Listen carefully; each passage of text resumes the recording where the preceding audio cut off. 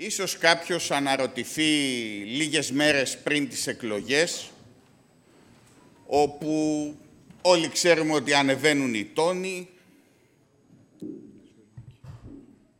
Εντάξει. Ανεβαίνουν οι τόνοι λοιπόν, όλοι οι άλλοι μιλάνε με συνθήματα, απευθύνονται στο συνέστημα και στη φόρτιση, στο εμπόριο φόβου και ελπίδας, γιατί σκέφτηκε το κόμμα μας να διοργανώσει μια ημερίδα εδώ στον Πειραιά, που από το χαρακτήρα της ημερίδα είναι, παρουσιάζει αναλύσεις, μελέτη των εξελίξεων, συμπεράσματα κτλ. Θα μπορούσε δηλαδή να σκεφτεί κανείς αν είναι η κατάλληλη μορφή λίγες μέρες πριν τις εκλογές για να παρέμβουμε στις εξελίξεις. Όμως, φίλες και φίλοι, συντρόφισσες και σύντροφοι, καθώς βαδίζουμε στην τελική ευθεία που λέμε προς τις εκλογές, καθώς δυναμώνει αυτή η προσπάθεια τεχνητής πόλωσης που τη ζούμε κυριολεκτικά αυτές τις μέρες να εντείνεται ώρα την ώρα. Έχετε δει τους χαρακτηρισμούς του Τσίπρα με το Μητσοτάκι στη Βουλή. Έχει ιδιαίτερη σημασία να αναδείξουμε ποιο πράγμα.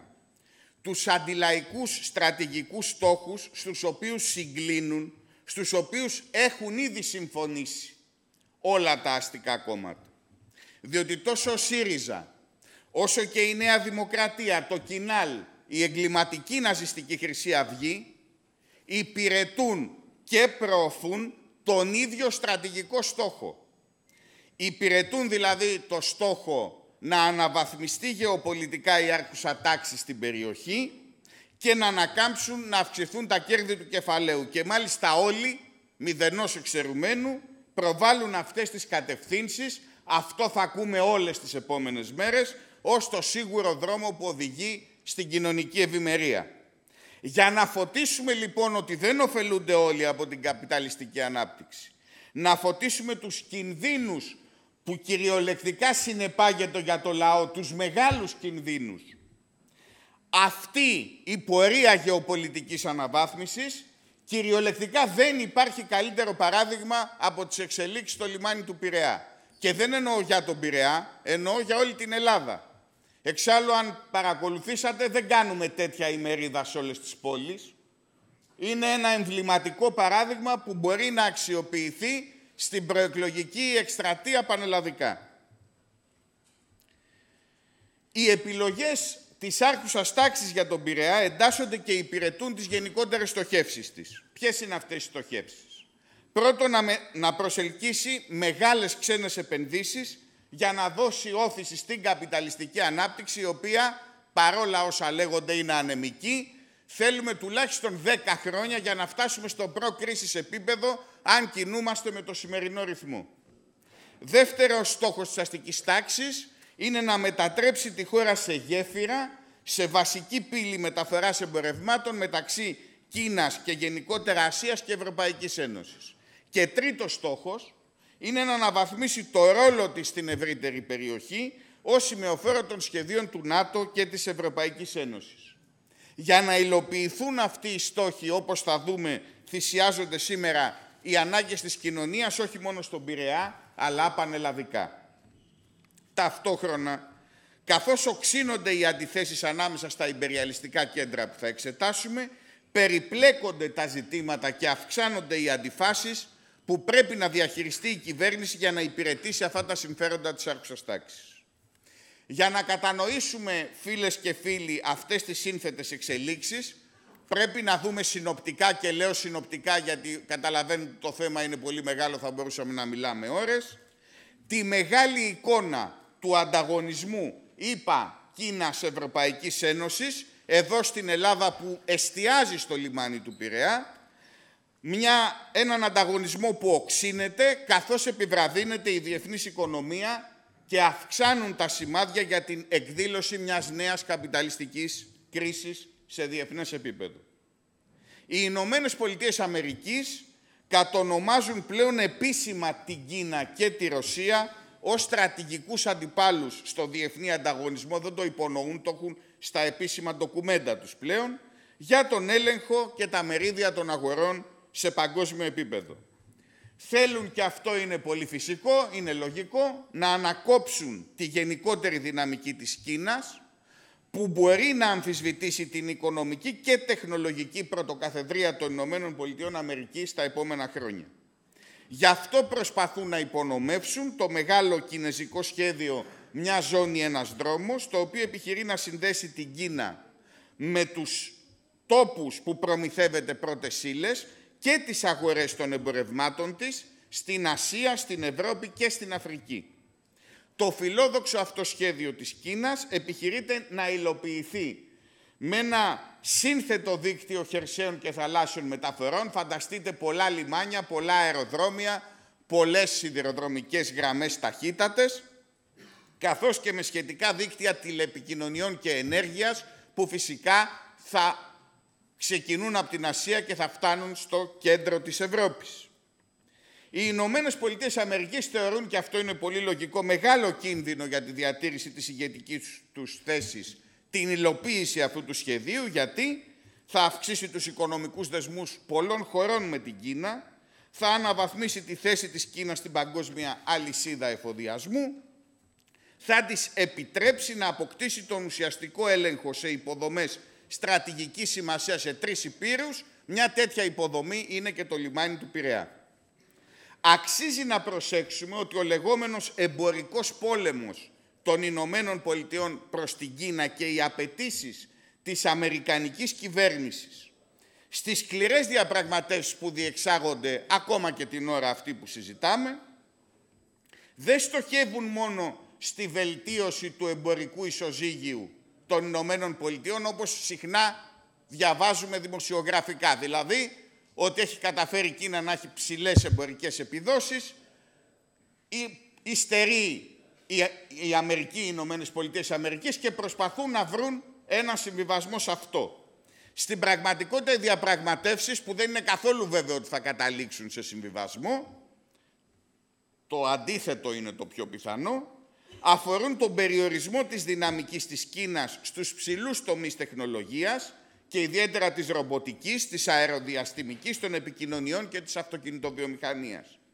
Συνολικά από τον Ιούνιο του 2018 που ξέσπασε αυτός ο εμπορικός πόλεμος και σημειώστε ότι οι εμπορικοί πόλεμοι σε τέτοια κλίμακα σπάνια μένουν εμπορικοί, έχουμε από την περίοδο εκείνη που ξεκίνησαν τα μέτρα αυτά αύξησης των δασμών, τις εξαγωγές της Κίνας στις Ηνωμένες Πολιτείες να μειώνονται κατά 47% και τις εισαγωγές ήδη κατά 17%. Ενώ η Αμερικανική, καταλαβαίνετε τα μεγέθη, έτσι, γιατί μιλάμε για δύο υπερδυνάμεις. Ενώ η Αμερικανική κυβέρνηση απειλεί ήδη με νέα δέσμη μέτρων με κλιμάκωση της πολιτικής του προστατευτισμού.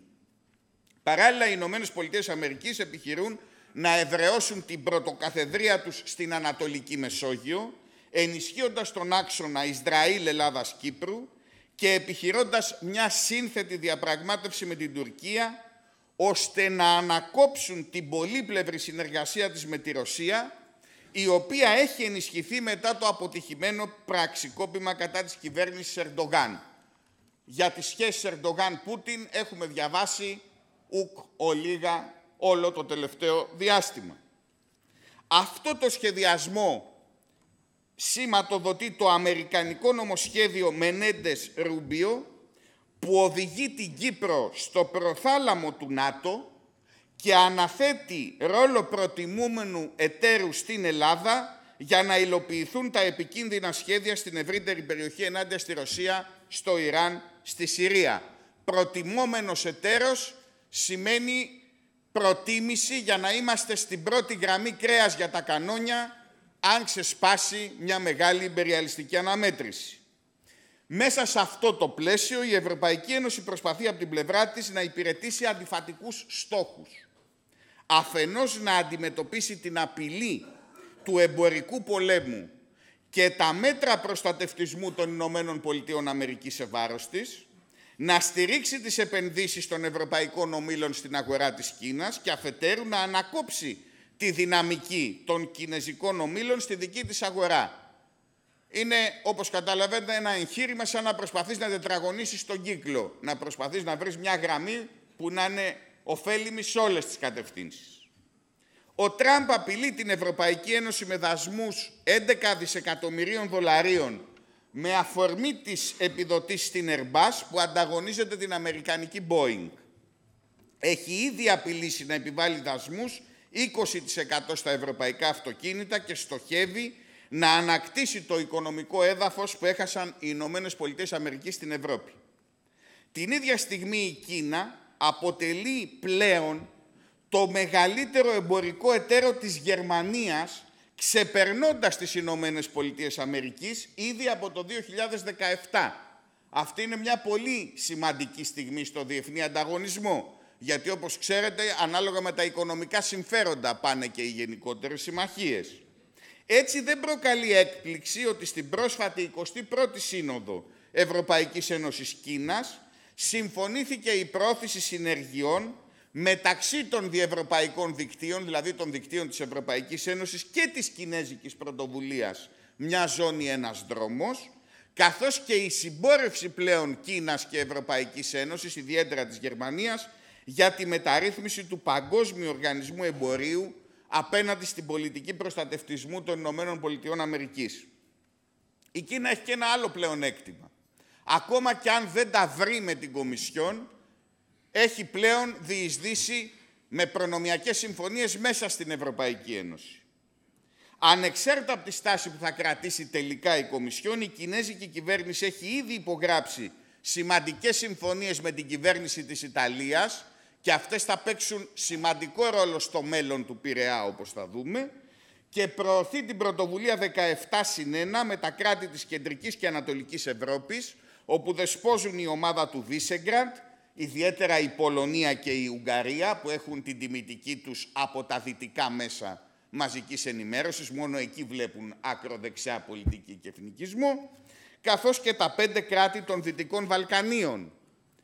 Αυτός εξάλλου είναι ένας από τους λόγους για τον οποίο βιάζεται το ΝΑΤΟ να εντάξει στις γραμμές του τα Δυτικά Βαλκάνια και είδαμε και όλη αυτή την οργιώδη δραστηριότητα σε αυτή την κατεύθυνση του Κοτζιά και του Τσίπρα.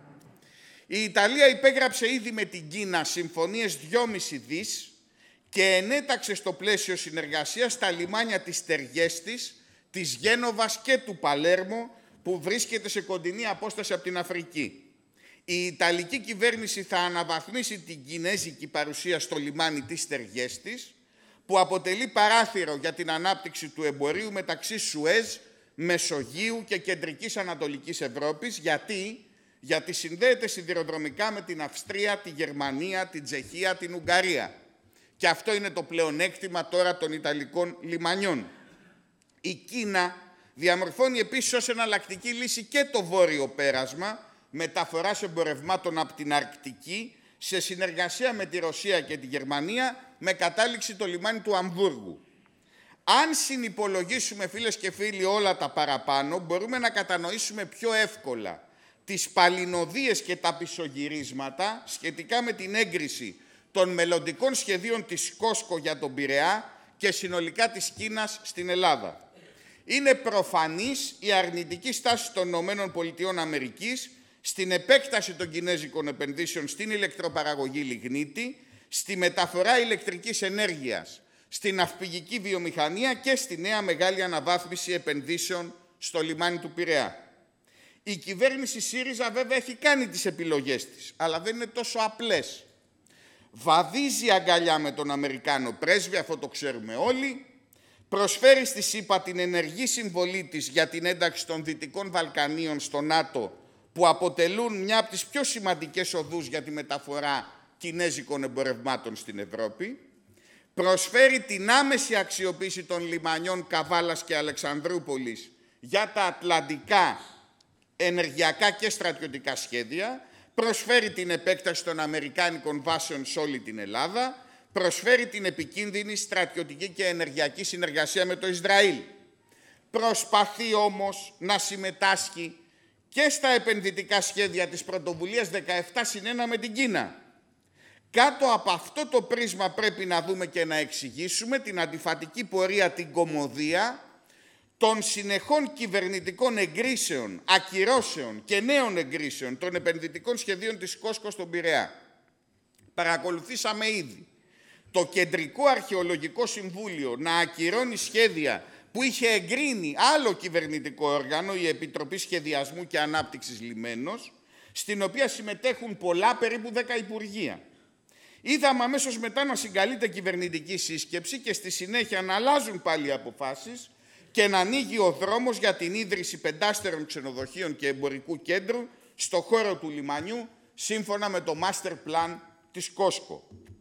Καθώς οξύνεται ο ανταγωνισμός ανάμεσα στις Ηνωμένες Πολιτείες Αμερικής και την Κίνα, αλλά και ανάμεσα στις Ηνωμένες Πολιτείες Αμερικής και τη Ρωσία στην περιοχή της Ανατολικής Μεσογείου, θεωρούμε το πιο πιθανό να γνωρίσει νέες διακυμάνσεις η πορεία της επένδυσης το επόμενο διάστημα. Είναι πολύ δύσκολο να προδικάσει δηλαδή κανείς πώς θα εξελιχθεί η κατάσταση παρά τις κυβερνητικές εξαγγελίες.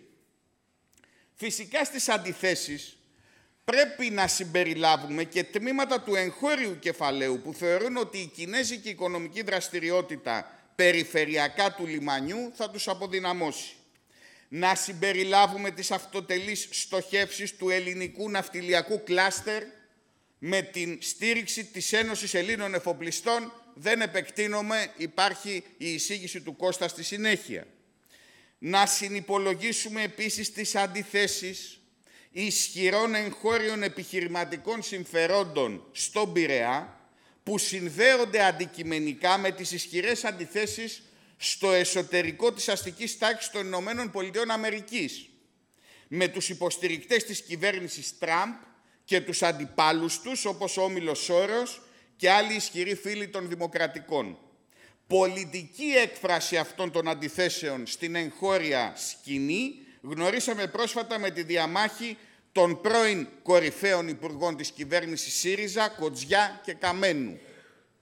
Το πιο εμβληματικό οικονομικό παράδειγμα είναι η νέα ισχυρή εταιρεία spin-off Diamond S, όπου συγχωνεύονται τα συμφέροντα, δέστε πόσα, του εφοπλιστή Μαρινάκη, τα συμφέροντα της εταιρείας που ίδρυσε ο Υπουργός Εμπορίου των Ηνωμένων Πολιτειών Αμερικής Wilbur Ross και τα συμφέροντα του μεγαλύτερου κρατικού επενδυτικού φαντ της Κίνας. Την ίδια περίοδο είδαμε χθεσινούς φίλους στη Δημοτική Παράταξη του Μόραλη να γίνονται τώρα αντίπαλοι με την αποχώρηση του Κόκαλη. Όλα αυτά τα υπεριαλιστικά κέντρα και οι επιχειρηματικοί όμιλοι που προαναφέραμε ανταγωνίζονται και διαγωνίζονται για το μέλλον του Πειραιά με γνώμονα τα συμφέροντά τους. Όμως ο λαός δεν έχει να κερδίσει τίποτε όσο συνεχίσουμε να βαδίζουμε σε αυτό το βάλτο της εκμετάλλευσης και της ανασφάλειας, όπου τα κέρδη των ομίλων και οι ανταγωνισμοί των υπεριαλιστικών κέντρων καθορίζουν και θα καθορίζουν ποιες επενδύσεις θα προχωρήσουν, πότε θα υλοποιηθούν, πού θα γίνουν, με τι μισθούς και τι ωράρια θα δουλέψουν οι εργαζόμενοι. Παρά τους μεγάλους ανταγωνισμούς τους, όλοι αυτοί συμφωνούν στο ξεζούμισμα των λιμενεργατών και των αυτεργατών, συμφωνούν στα 12 ώρα χωρίς κατοχυρωμένο ρεπό για να αυξηθούν τα κέρδη των ομίλων. Οι ανταγωνισμοί τους αφορούν το πού θα γίνουν τα νέα πεντάστερα ξενοδοχεία και τα σύγχρονα εμπορικά κέντρα, έλεγε η Διαμάντο για τα σχέδια προηγουμένως, αλλά προϋποθέτουν όλοι ότι δεν θα δοθεί κρατικό χρήμα για να μειωθούν τα ανταποδοτικά τέλη για τους δημότες και για να αναβαθμιστούν οι φτωχογειτονιές του Πειραιά. Ο λαός δεν πρέπει και δεν μπορεί να περιμένει να βρει μια προσωρινή δουλειά με μισθό πείνας ανάλογα με το πώς θα εξελίσσονται οι συμβιβασμοί και οι αντιθέσεις ανάμεσα στους επιχειρηματικούς ομίλους, ανάμεσα στις υπεριαλιστικές συμμαχίες. Η κυβερνητική πολιτική ιδιωτικοποίησης και παραχώρησης των λιμενικών υποδομών σε ομίλους και υπεριαλιστικά κέντρα σε όλη την Ελλάδα, όχι μόνο στον Πειραιά, με ανταγωνιστικά σχέδια και μεταξύ τους, ανταγωνιστικά το ένα λιμάνι με το άλλο, υπονομεύει την αντικειμενική δυνατότητα που υπάρχει σήμερα για γρήγορη, ασφαλή και φθηνή μεταφορά του λαού και των εμπορευμάτων, με προστασία της υγείας και της ασφάλειας των εργαζόμενων του κλάδου, με ισόρροπη παρέμβαση του ανθρώπου στο περιβάλλον.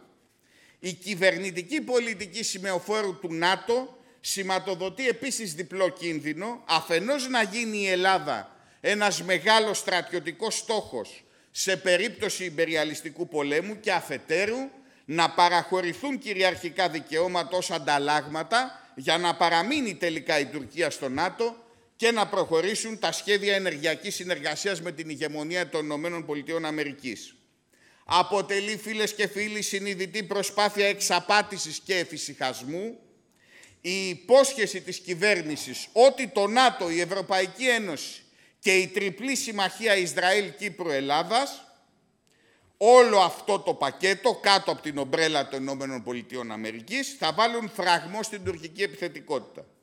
Το ΝΑΤΟ με τη νέα δομή του μετά την κρίση των ημείων έχει ήδη επιβάλει τη στρατιωτική διχοτόμηση του Αιγαίου και την κατοχήρωση των γκρίζων ζωνών. Η Ευρωπαϊκή Ένωση επίσης αρνείται να απαντήσει σε ερώτηση του Κουκουέ ποια ακριβώς σύνορα φυλά σήμερα η Ευρωπαϊκή Ακτοφυλακή στο Αιγαίο; Η ιστορική πείρα απέδειξε ότι στο πλαίσιο του ΝΑΤΟ διατηρείται η κατοχή στο 40% της Κύπρου και συνεχίζονται οι τουρκικές παραβιάσεις στο Αιγαίο. Φίλες και φίλοι, δεν υπάρχουν περιθώρια για άλλες αυταπάτες. Η διέξοδος βρίσκεται στην πάλη για την Ελλάδα και την Ευρώπη του σοσιαλισμού. Η διέξοδος βρίσκεται στον αγώνα για ριζικά διαφορετικό δρόμο ανάπτυξης με γνώμονα τις ανάγκες της κοινωνίας.